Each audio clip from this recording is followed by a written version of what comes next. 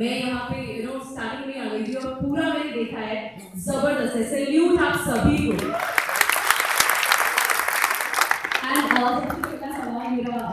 साहब से सर हमारे देश में आपको पता ही है, रावण को किस तरीके से देखा जाता है। उस युग में या हमारी जनरेशन इतनी लगी है कि हमें दूसरा पहलू देखने का मौका मिला। आज तक हमने जिस तरीके से छवि देखी है रावण की, वही माइंडसेट है। तो आपने दूसरा पहलू दिखाने के बारे में देखिए मैं बहुत ब्रीफ में जवाब दूँगा। मुझे शुरू से ही इतिहास पढ़ने का बहुत शौक रहा है, क्योंकि मेरा ऐसा मानना है कि हम जितने भी विकसित हो जाएँ, हमारा इतिहास हमेशा हमारे साथ चलता है। लेकिन इतिहास हमको एक तरह से पढ़ाया जाता जा रहा है। हमको एक तरह की बात बताई जाती रही है।